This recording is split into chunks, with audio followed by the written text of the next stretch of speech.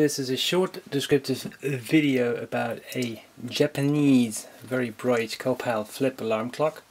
The uh, model RP200 200 uh, one of the latest last flip clocks that Copal ever made before they switched to um, analog and digital clocks uh, eventually not making clocks anymore um, unfortunately um, this clock, this this specific clock comes from Japan, uh, meaning the motor is laid out for 100 to 120 volts, and it has a switch um, which uh, gives you the opportunity to switch between 50 and 60 hertz.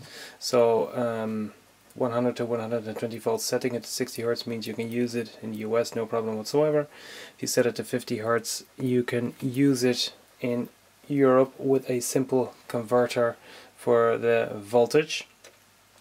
Uh, it's a 12 hour clock. It says AM or PM so you know if you would happen to forget um, which um, part of the day it is actually. Um, it has a traditional Copal motor in there with a whirligig wheel um, as opposed to the um, the other clocks from the same series, the 205 and I think the 207. They have a Nuotype drive which is a little bit crap. Um, I would steer clear from that. That's my own personal experience. Anyway, um, clock is in really good condition. I would say near mint. Uh, no usage uh, to be found whatsoever. Um, I'll just quickly sound the alarm there. You kind of have an idea